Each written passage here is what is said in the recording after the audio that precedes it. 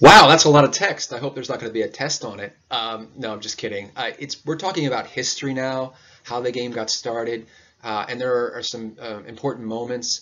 Uh, the, the, key thing to think about as a memorabilia collector is you're, you're not going to be too uh, concerned. Too you're not going to be that concerned about the history of the sport, but it's good to know. The sport started in the mid 19th century. Uh, the modern version of the sport with the modern rules started in England. Uh, and then it spread around the world via colonialism. Uh, in America, it started with immigration, to, primarily to the Northeast, immigrants from Europe and then from South America and the Caribbean. Um, and the first uh, American clubs were made up of immigrants. They were uh, immigrant social clubs, and primarily from Scotland and the UK, and then from the rest of Europe and, and from different places around the world. There were some very successful teams in America. Uh, we have Sport Club Gjoa, which is a sports club, is a sports club uh, in Brooklyn, and they won. That team won the 1954 national championship. Uh, they play these. Some of these teams played in front of their own fans, their own stadiums. Uh, they had their own following. It's important to remember this, uh, just so you can put it into perspective. Uh, that a lot of what we see today with um, the friendlies and, and teams coming over here from Europe or South America to play friendlies, none of this is new teams were playing, uh, European teams were coming over here the turn of the century even before playing friendlies. In some cases, playing in front of thousands of people at stadiums. None of that is new. Um, playing in baseball stadiums, um, Italian teams coming and playing at Ebbets Field. Uh, this has been happening for a very long time. So there's nothing new to this. It's important to know your history. They say the old cliche, the old adage is that um, those who don't know their history are doomed to repeat it. So it's important to know your history and also to know what's been done, um, how so you know how to improve things. Um, the United States shocked the England in the 1950 World Cup, um, and that from then from that on, it could have been a turning point where soccer could have grown, but it, it didn't because there was no there wasn't really much exposure. Uh, it wasn't televised in the states. Uh, and that sort of doomed soccer in the States because of the lack of television coverage, the lack of a national professional league, there were all regional leagues, and the rise of traditional American sports such as baseball. Baseball had its best decade ever. Um, baseball expanded out west. Uh, the NFL became more popular. Basketball became more popular. And television really fueled the rise of that. Children of immigrants were no longer interested in playing um, playing soccer. They wanted to assimilate and play American sports. Uh, a lot of immigrants moved out to the country where they could play American sports. It became soccer became um, it began to be seen as more of an immigrant sport, uh, as, as, a prep school sport in New England, uh, sort of a niche sport, uh, and uh, Americans started started attaching a stigma to playing and following the sport a little bit that lasted for for a number of decades, and in some cases lasts uh, even today. So I just want to get one thing out of the way is, as I, I mentioned in the previous uh, podcast, why do I refer to it as football and then why do I switch back and forth in soccer? And I, and I, and I briefly explained why, but why do we call it soccer in America? Why do they call it soccer in Canada, um, in New Zealand, and in um, in Australia as well?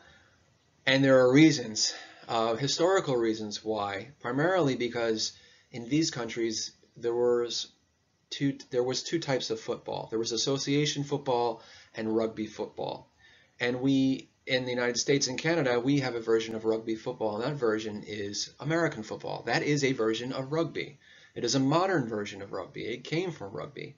Um, just as baseball is in some ways a version of cricket. It is a bat and ball sport that came out of cricket. Um, so in these areas, uh, it just so happened that rugby football became much more popular than association football.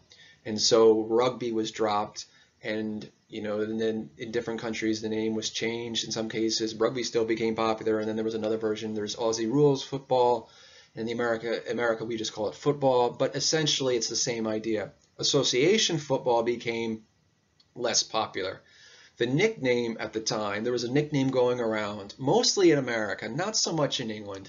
There was a, a nickname, and the nickname for association football was soccer. You could see association. You're not going to call it, hey, you want to go play association? No, no, no. I'm, I'm going to play. I'm going to go play rugby football. So they called it soccer, and it was a nickname. Well, the nickname was sort of a tongue-in-cheek nickname uh, in, in England. It was never really taken that seriously, but in America we took it seriously and we used it to identify association football. So that's out of the way. That's why we call it soccer. Soccer stuck because American football, because of uh, rugby football, and the modern version of rugby football became very, very popular, and that's why we call it soccer. Okay, that's out of the way. So in the 1950s, soccer experienced a, a pretty big decline. And by the 1960s, immigration, by early 1960s, immigration had slowed down considerably. It wasn't until the mid 1960s that we started seeing more and more immigration. And that had to do with legislation, uh, a lot of things happening in the States, uh, demographic uh, changes, uh, social changes, social upheaval. Um, the country changed a lot in the 1960s. Uh, the norms and the accepted values uh, were thrown uh, were thrown around a little bit, and by the 1970s things had changed considerably. So the North American Soccer League, the first major national professional league we had in America, uh, launched in 1967, I believe. But it didn't really become popular until the mid 1970s when investors started bringing in big name players like Pele and Beckenbauer uh, and Neeskens um, Gerd Muller and, and, George Best and, and uh, you know all these great players uh, from Europe and South America, and then it became popular. But it was a bit of a fad. So the league folded because it was a fad, because there wasn't really any foundation there, and because of the amount of money, the sheer volume or sheer amount of money that was being spent for these players, they just, um, in most cases, teams were not drawing very well. Now, certainly the New York Cosmos occasionally we're getting big crowds, but then even the New York Cosmos, on average, we're not selling out the stadium. Um, the team might get 76,000 for, you know, the Cup final, the Soccer Bowl, uh, but a regular season game might not. You might get 10,000 or 8,000 people. So they had a hard time uh, getting um, getting people in the seats. So the league ultimately folded, and it folded. Teams started folding here and there. The league also expanded uh, rapidly in the 1970s. I think uh, you had a number of teams. You had teams all over the country, uh, and it just became too much. So the league folded. But the good thing about the North American Soccer League is millions of Americans, million, millions of American kids started playing the sport, and parents started coaching. Um, those kids started playing in college. College programs started uh, started up. Uh, college programs that existed started getting better.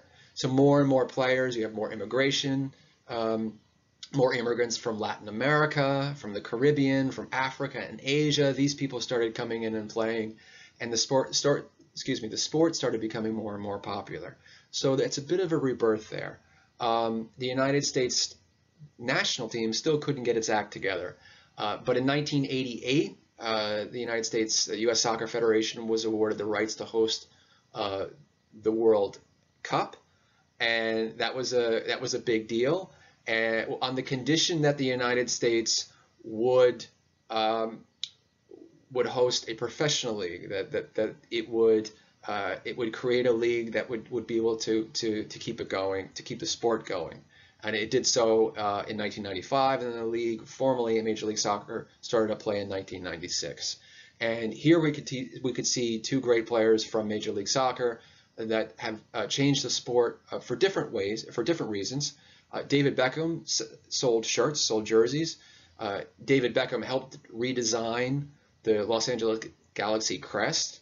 Um, the Los Angeles Galaxy was able to bring in a shirt sponsor and sell for a lot of money, so that certainly helped the league. Um, Landon Donovan, uh, the, first maybe true American superstar. Of course, there were past American star, uh, there were American stars in the past that did very well, but Landon Donovan was the first um, star who had a wider appeal, uh, who achieved a little bit more consistently. And both of these players uh, did a lot for the game in America, and they helped uh, re, um, reinvigorate the sport. Of course, in 1990, uh, the United States, uh, the U.S. men's team qualified for the World Cup. And as I mentioned, they hosted the World Cup in 1994. And in 1994, the team reached the second round and it was a very good team. And then four years later, the team uh, finished dead last at the tournament in the 1998 World Cup. So we saw uh, a dip. We saw as uh, I interviewed Tab Ramos in the past, and he said, you know, the game there's a lot of peaks and valleys with the game in, in this country, and uh, it seems like we go through a lot of valleys. Uh, occasionally, there's a great peak, and that was a valley in 1998, and then of course there was a big peak in 2002 um, when the U.S. team reached uh, the quarterfinals. So if you're interested in American soccer memorabilia, in collecting it or valuing it, you need to follow the sport, follow the news, see what's happening with the U.S. teams, uh, the men's and the women's teams, the youth teams, and also follow Major League Soccer and the Women's Professional League here as well. You need to see what American players are doing overseas. You need to pay attention to uh, announcements and news. Um, the U.S., uh, Mexico, and Canada will be uh, co-hosting. They will be hosting the World Cup in 2026, the Men's World Cup. That should be good. The women's team is playing in the World Cup this summer, the 2019 Women's World Cup. Pay attention and see what's going on there. Uh, and that's it. Just just watch the game, follow it, and it's it's basically that simple. The next podcast, I will be talking about shirts, uh, signed shirts. I want to thank you for uh, taking the time to watch the podcast, and I look forward to doing the next one. Thank you.